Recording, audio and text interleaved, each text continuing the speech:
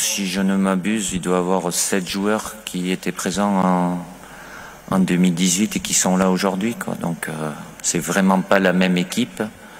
Donc je vais pas comparer, euh, ça sert à rien. C'est pas du tout le même. Euh, c'était un huitième de finale, il n'y avait pas les mêmes joueurs.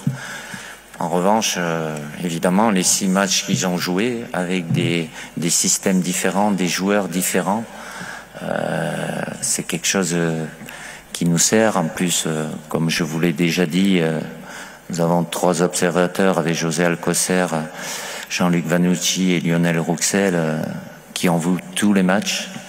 Donc évidemment, ça nous permet d'avoir des, des informations bien précises, même si l'Argentine peut faire quelque chose de différent demain, comme nous, nous aussi. voilà, on n'est jamais. je prends l'exemple du du Maroc euh, en demi-finale, qui a commencé le match avec euh, une défense à 5. Elle l'avait pas fait avant, donc il euh, faut être prêt à, à, toutes les situations. On va pas, nos adversaires, ils sont pas dans les tribunes. Hein. Les seuls adversaires que l'on a, c'est ceux qui seront sur le terrain. Et il y a suffisamment de, de qualité en face pour se concentrer uniquement là-dessus, avec le même objectif pour le, les, deux équipes, puisque il y en aura une des deux qui aura une troisième étoile sur le, maillot après le, match de demain. Plus simple de, détailler par rapport à ce qu'ils proposent euh, sur cette Coupe du Monde, euh, une équipe euh, très bien organisée, très forte défensivement, agressive sur le porteur et et qui joue très bien euh, dans les transitions offensives, sur les erreurs de, l'adversaire. Euh, euh, et il y aura beaucoup d'attentes par rapport à cette finale du, côté argentin. Voilà, maintenant, je crois, lorsqu'on est français,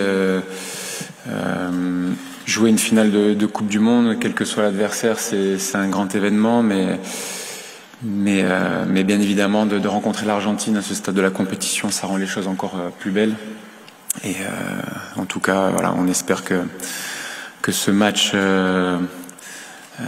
restera dans, les annales du, du, côté français.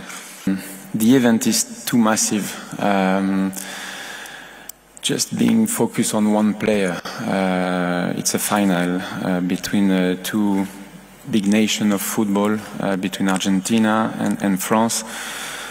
Obviously, uh, when you face um, that type of player, uh, you need a, a special focus uh, on him. But uh, but it's not only about him. You know, uh, it's a strong team with a lot of talented players. With a young generation of, of players, and um, and you can feel that they are all dedicated to to Leo Messi. Um, but again, uh, we will try to find the key um, to get the success on, on this game.